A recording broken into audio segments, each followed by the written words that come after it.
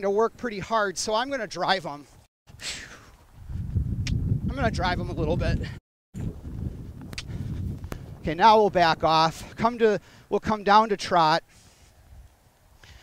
More reach. There, there, I'll take that. And then I'll bring him to me. So when he gets the correct answer, which is reaching forward with a faster tempo, then come to me.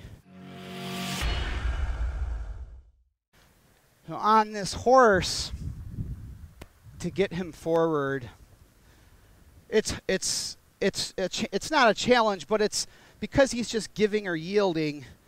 I have to work pretty hard, and then sometimes you end up click clucking or you end up moving your feet a lot. And we obviously want to get past that point so that I don't have to work this hard, though it is an improvement over where he was. Let's try moving, directing your attention again. Don't push on me. So you almost pushed on me. Did you see that little twitch? And then he said, you know, on second thought, maybe I'll just look. If I bring my hand over to the other side, I'll think about directing his attention towards you a little further. Don't push on me. All right, that that took almost. I'm almost there. See, he's pushing back.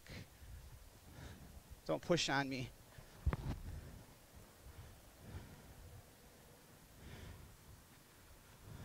Say, take your feet then, since you're pushing on me. Let's try that again. Can you look to the side?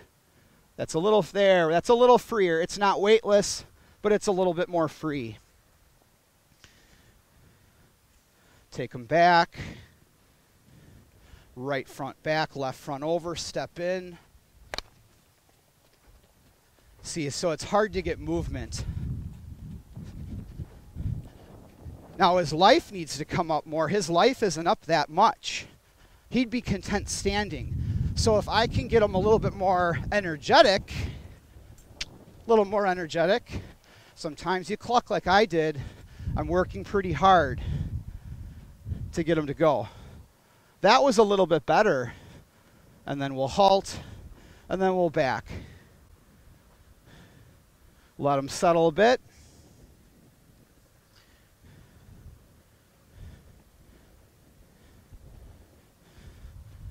So that time I sent him off with his left front foot across first. It worked fine.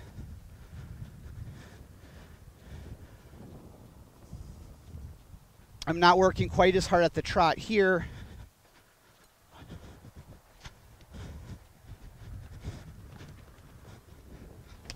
little more life.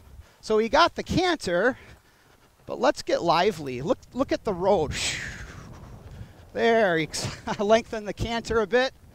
Trying to give him plenty of room. I'll take that. We'll come down to the trot, so I'll relax my posture. Think trot. Let's lengthen the trot a little bit more. a little more. He cantered. That's okay because we want to work on the canter, but I want long trot. Let's get out there with your feet a little bit. I will take that. Something that I notice a lot of people have trouble with is getting their horse forward, or what I consider actual forward. And there's a saying, calm forward straight. And apparently on the gates of the Spanish riding school, you see this at the, at the entrance. I've never been there, but I've just heard this. And I like to think about calm forward straight. Another thing I like to think about is the idea of a horse turning loose. And I know that sounds a little Western to some of you, but it's pretty important to understand what turning loose is. And turning loose would be the ultimate. That would be when the horse's idea and your idea mesh together and it's true unity in movement. Now, we can divide up levels of movement in these categories here. We could say a horse can give. Giving the feet would be they come along, maybe they're a little sluggish and they're a little bit delayed, and so their feet sort of give. And we, we talk about getting horses to give and getting horses to yield, and that's, that's one level, and that might be a start. Yielding would be just getting to the point where the horse is starting to follow a feel. They're doing pretty well. They're coming forward when you ask, but it isn't turning loose. Turning loose would be total freedom of movement, to where your idea and their idea are, are the same. And some of you have experienced this trail riding. Um, some of you have maybe experienced this in the arena. I don't know that a horse is going to turn loose for you um, the whole ride, but I think you're going to get moments of it. And that's the goal with this horse that's in training with me. So here we have Figure. He's a four year old Moresian that I have. And I would like him to be more responsive, more forward, and willing to, to, to come with me when I want to go. An aspect of forward that I like to think about, and I don't hear people talk about it that much, is the horse's life. How much life, how much energy does the horse have? When we want to go forward, if we want to gallop, how much life would your horse have? Quite a bit. So the ability for me to bring my posture up, which is universal horse language for getting tall and getting lively. So when horses get lively, they lift their head, they flag, their tail comes up, and the horse gets tall. If I settle and relax my posture down low, we'd like the horse, or down, you know, sort of lower to the ground, we'd like the horse to come lower and relax, get slower, the same thing could happen in asking a horse to back up. Could I get tall? He'd lift his head, maybe shift his weight, and take those feet. You can see him lick and chew. I'd like to keep my feet in one place, have the horse back up, and maybe he realizes he just gained distance, he just gained space. When they realize that, they're going to back up much freer for you. A lot of horses back up when the human starts to walk in, and we go like this and we back up. And all your horse is really learning there is that you're going to push them backwards and they're going to yield back to you. So I would rather get to where I could keep my feet in place, lift, back up, bring my life up, get their feet back, not move my feet too much, and get that back up. When he takes his nose beyond the point of shoulder, I'm, we'll give him another job to do. I'll redirect that attention. So if that nose goes beyond the point of shoulder, he's distracted. Something's grabbing his attention. So I will help to support my idea of having him stay nose between the shoulder because I'm in the front. All right, so now we'll work more on forward again. So when I bring my life up or my posture up, movement in my feet. Of course, movement in my feet would be universal horse language as well. So horses get tall and they move, and they might get a little lively. Say, I don't know if I have a disunited canter here, but at least he came up with me. So now we'll get a little movement. There we have a united canter. He has a united diagonal pair. I'm, we'll bring my life down. Come out of the center. Bring him to me. Turn keep my life up, carry it to the back up, settle in, nose between the shoulder. My rope will be set at such a length to where I could support my idea. If his nose goes beyond the point of shoulder, he might think he ran into the rope himself. In fact, if I can always set things up to where my horse thinks that he ran into his own pressure, that would be the idea. That'd be the idea. That would work quite well. All right, we'll take them back. I bring my posture up. I'm stepping into the direction I'd like to go. Mounting block. More life. When I lift the flag up, that can convey more life.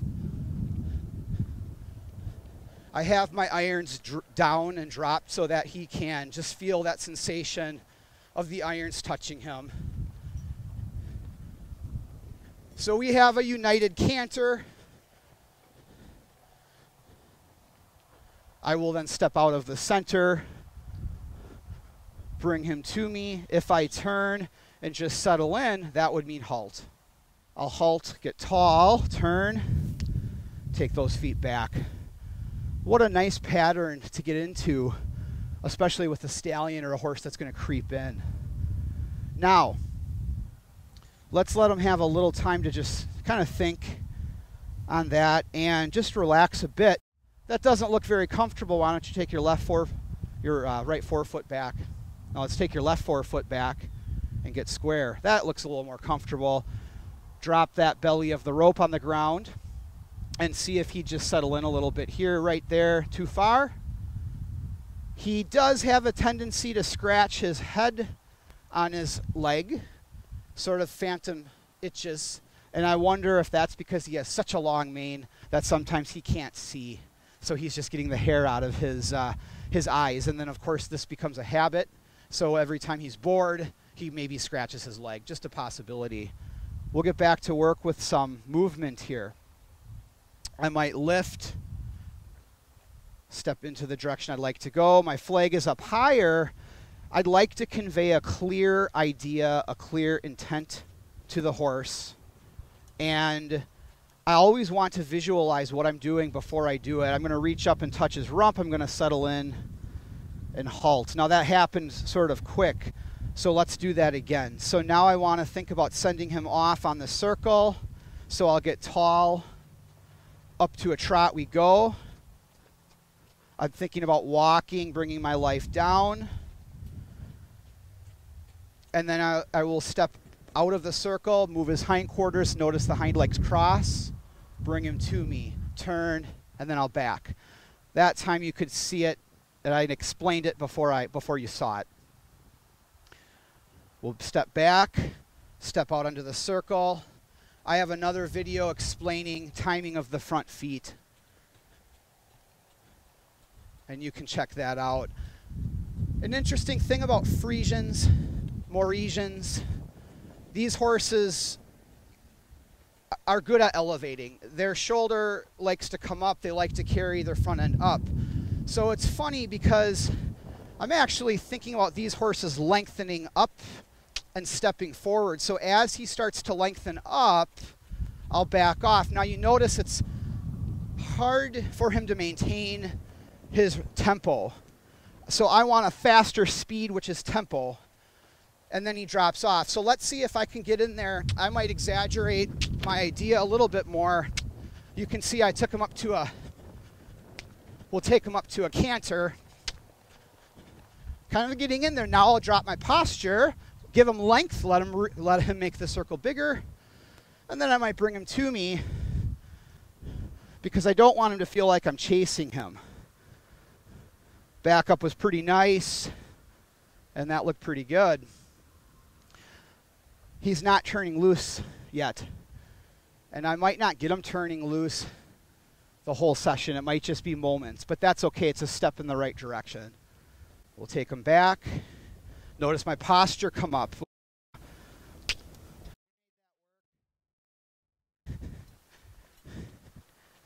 I want more reach. All right, so he came into the canter. I'll back off. If he canters, at least he's trying to get forward. So I don't mind that. In fact, I'm trying to work on his canter. So if he canters, that's okay. Maybe I wanted a long trot. Instead, he gives me canter. I'll take that if it's smooth. Good. Notice the pattern of bringing him in, keeping his life up, keeping my body posture tall, and then backing him up.